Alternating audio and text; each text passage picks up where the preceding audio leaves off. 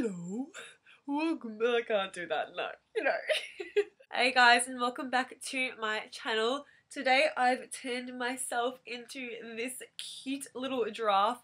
It is really fun and easy. So I was doing this on a budget. I didn't want to go out and buy stuff. So I thought I'd just make do with what I have here at home already. I googled giraffe makeup.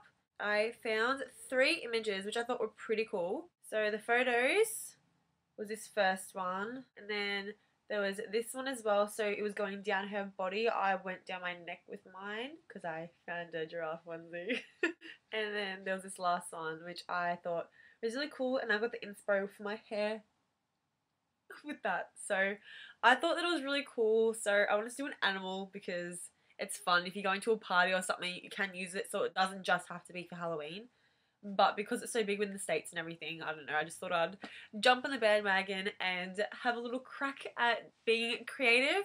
I was thinking of doing some more Halloween tutorials as well, so if you did enjoy this one, let me know and I'll be happy to do something a bit more dark and mysterious next time instead of being like, oh happy. If you did want to see how I achieved this look right here, then please keep on watching. Alrighty, hello guys. Today I'm going to be doing something different with my face, so not the usual, well, the usual plus a little extra.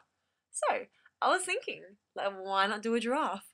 Starting off with my Maybelline Fit Me Matte and Poreless foundation in 310, I'm going to give it a shake and then add some of my Cover FX Custom Enhancer drops in the sunlight and I added so much, it wasn't even funny, but it's all about the glow anyway guys, isn't it?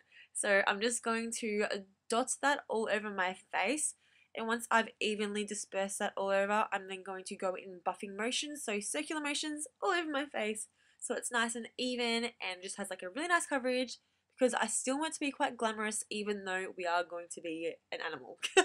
this is my second time using this foundation as well and the first time I used it I wasn't too sure about it but this time I actually really really loved it. I think it's because I use this buffing brush Usually I use a Beauty Blender, but I really like to finish with the brush that I used in this tutorial. So I reckon it's going to be more of my go-to foundation now because I literally love it that much. It is so nice, so silky, yet such full coverage, but it's very buildable. So you can be very minimal or you can go as heavy as you want with it. It doesn't even go cakey. It's so gorgeous on the skin. Mixing the custom enhancer drops as well just gives this foundation a really nice glow and just makes your skin look so healthy, which is what I love. So I'm so happy with it and we're going to move on now. Going in with one of my favorite concealers at the moment. This is the Tarte Shape Tape Concealer and I got the color light. It is very light but I wanted it more for highlighting so I really can bring out and whiten those features up. So I'm just, again, buffing that into my skin with the same brush as I did with my foundation. So just all over, making sure it's nice and seamless. There's no harsh lines. There's no stark white lines or anything. Just nice and flawless because that's what we want, don't we guys? Nice and flawless base. if you're looking for a very high coverage concealer, I would definitely recommend this one. I got mine off the Tarte website and it was very risky because I was like, okay, I don't know how light this is, even with swatches and stuff, because it being on your skin, I don't know, it's just very different. But I just took a stab, got it, and I have loved it ever since the first use. So it's definitely, definitely worth the money, in my opinion. Going in with my LA Girl Pro Concealer in Dark Cocoa, just taking that around the frame of my forehead, down the side of my cheekbones, my nose, underneath my lip, and my chin and jawline as well taking that same buffing brush and going in circular motions all around my face. So the forehead, the cheekbones, the nose, the chin, under the lip, you know, the whole enchilada. So I really want to make sure with this look as well that I was making the most of the product that I had and dispersing it very evenly because I really wanted to make sure it was quite flawless and very, very even because sometimes with cream contours and cream concealers, it can get a little muddy and it can get a little messy, I guess you could say. Saying that, I'm going to pick up the same concealer as we used to highlight and I'm just drawing two little lines underneath my cheekbones just to clean up and neaten and just structure out my cheekbones just that little bit more and then just buffing in as per usual because that's what I do best. I love to buff. Going in with my favorite translucent powder at the moment, this is my Laura Mercier translucent loose powder and I'm taking my Real Techniques large powder brush and I'm lightly dusting that all over the face, making sure I'm tapping off the excess because I want to make sure that you still have a bit of a glow from that foundation and concealer. Going in with my Kat Von D Shade and Light Face Palette, I'll be taking the Banana Shade to highlight under my eyes and also set that concealer so our eyes basically don't crease. you don't want them to crease because it's not pretty and it doesn't look nice. So making sure that it's nice and flawless. Also placing it down the center of our face on our cupid's bow chin and underneath our cheekbones just to add that light where we concealed. And then I'm just going to go in with a fluffy brush and just evenly powder that all around so it's nice and seamless. I'm now picking up my bronzing powder by MAC. It is in matte bronze. I'm just lightly contouring around my face. So down the sides of my cheeks and my cheekbones. I'm also going to be going around the frame of my forehead and my jawline. Just everywhere that would sort of add shadow just so we can balance the highlight out so we are looking a bit more dimensional now picking up my large powder brush again and I'm just making sure I'm going over everywhere so it's nice and flawless and it's seamless. Picking up my customized Z palette, it's a mix of both Anastasia and Makeup Geek shadows. I'm going in with my Morphe M330 brush, which is my ultimate, ultimate, ultimate favorite blending brush. I just love the shape and just the fit that it goes into like my eyeball socket. It's so weird, but I just love it. And I'm using Orange Soda by Anastasia and I'm just dusting that above my crease and then bringing it down making sure it is nice and flawless for the shadows that we are going to stack on top. Picking up my Sigma E45 brush, I'm dipping into Anastasia's Sienna, which is a nice reddish earth toned brown, and I'm just deepening up the crease with that, making sure it is nice and seamless. And I'm just blending that in windshield wiper motions, just back and forth, just to evenly distribute that product. Now I'm going in with my Colourpop Super Shock Shadow, and this is in the shade Bandit. It is a... ooh. I don't know why I just. It is a much deeper earth tone than Sienna, so I'm just placing that all over my lid because I find that with this look I reckon it'll be more appropriate to do warmer tones on the eyes but keeping it quite matte and then doing something else a bit more glamorous elsewhere on the face. For example, lips. So just making sure I'm taking that all over the lid, so inner corner to outer corner as you would use a brush. And I'm just struggling with my finger, but I thought that I'd get the most colour payoff with that. Taking my ever so favoured Morphe M330 blending brush and I'm just making sure that the shadows are nice and seamless and tied in really nice together and there are no harsh lines anywhere. And my little baby mole at the back is sticking up really weirdly and I don't know what is going on but anyway. Yeah just making sure I'm just going in circular motions then back and forth just to make sure it is nice and seamless now taking my Eyeko London felt tip liner this lid actually was so hard to get off I'm just going to be winging out my liner so really elongating my eyes making it a bit more cat-like and just give it a bit more shape I find that with my eye shape as well, having wing liner really helps open and widen my eyes for some reason. I don't know, it just makes my eyes look a lot bigger than what they actually are, which I love.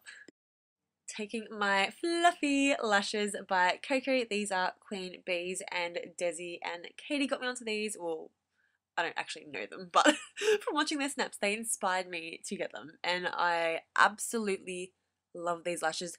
They are so wispy and long and fluffy and just oh make any look look amazing. And everyone always compliments my lashes when I wear these too. So ah, even better. Going in with my Veil Mascara by Benefit, I'm just creating my top lashes only just so they can blend in with the falsies so it looks quite natural and I'm just keeping the bottom lash line bare for now.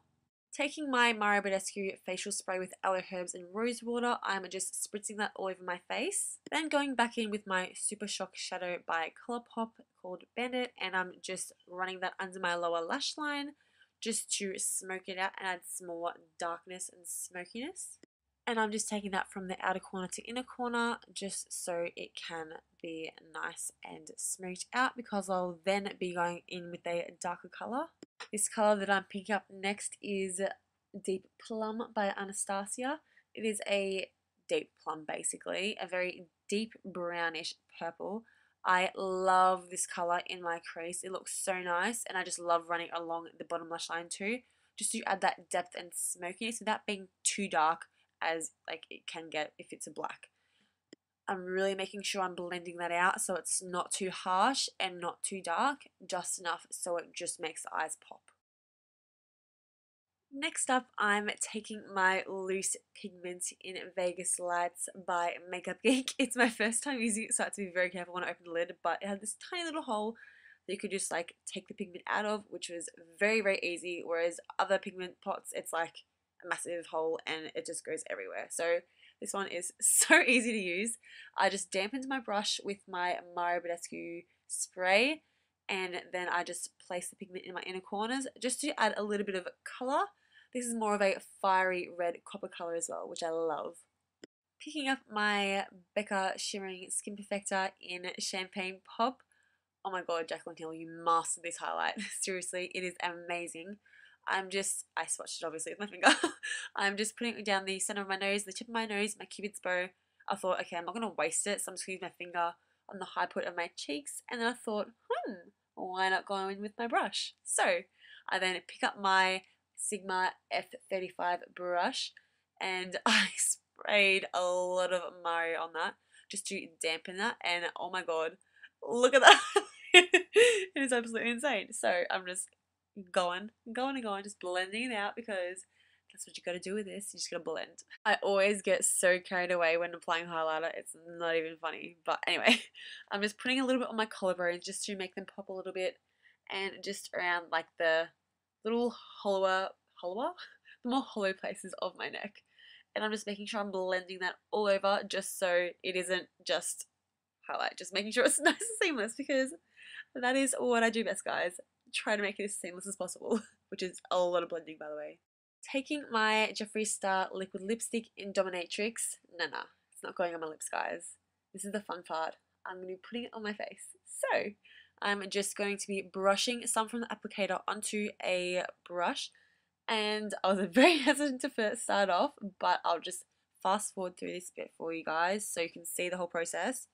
I'm just going to be making random shapes on my face basically so none even whatsoever just doing any shape that I feel is necessary or comfortable in that sort of position like around my cheekbone area or it's down my jawline or my neck or my forehead sort of thing. So just really changing up the shapes just so it looks very diverse and just sort of different in a way because I didn't want it to be like squares and triangles, you know what I mean? I was a bit unsure as well as to where I wanted to put them. Like if I just wanted it on half of my face, like covering the whole thing, or just around the perimeter of half of my face, or all the way around both sides. So I sort of had to think about it a bit, but I just went with it, I suppose. And the end result I was very, very pleased with as well. So, getting myself out of my comfort zone, I've never done anything like this. I was very, very scared and extremely hesitant to put liquid lipstick all over my neck and face, but it's good thing we had makeup as a base anyway, so it was a little bit easier to get off, but that doesn't matter.